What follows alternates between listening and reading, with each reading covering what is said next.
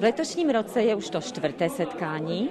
No a zúčastnilo se ho dnes 16 seniorů. Máme pro ně připravený kulturní program, folklorní soubor pod vedením paní Aničky Malchárkové a samozřejmě bohaté občerstvení.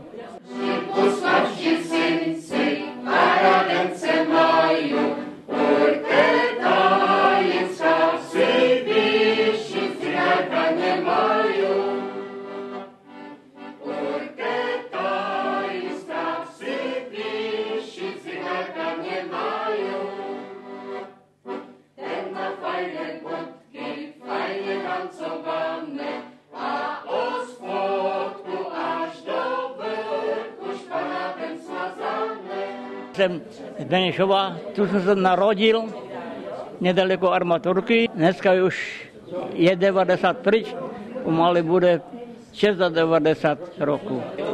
Já jsem tady čtvrtý rok. Čtvrtý rok. Prvně jsme byli na, na sídlištu a loni jsme byli tady a letos zase jsme tady. My už čekáme na to, aby jsme se zešli racat ty staří lidé. Povídáme se o rodinách, co se dělo za ten rok, protože my se jinak nesetkáme. Jen v kostele, cestu z kostela a tak jinak se nesetkáváme. Jenom tu, jako třeba s, s Ňura za rok, no, i ze všeckým.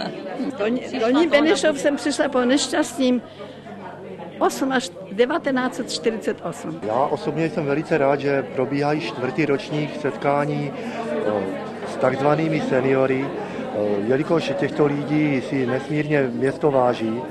A tady to, tyhle ty akce jsou vlastně jenom to nejmenší, co, co pro ně můžeme udělat, v čem bychom je chtěli podpořit v jejich další, v dalším životním elánu a doufejme, že tahle akce bude trvat ještě hodně, hodně let.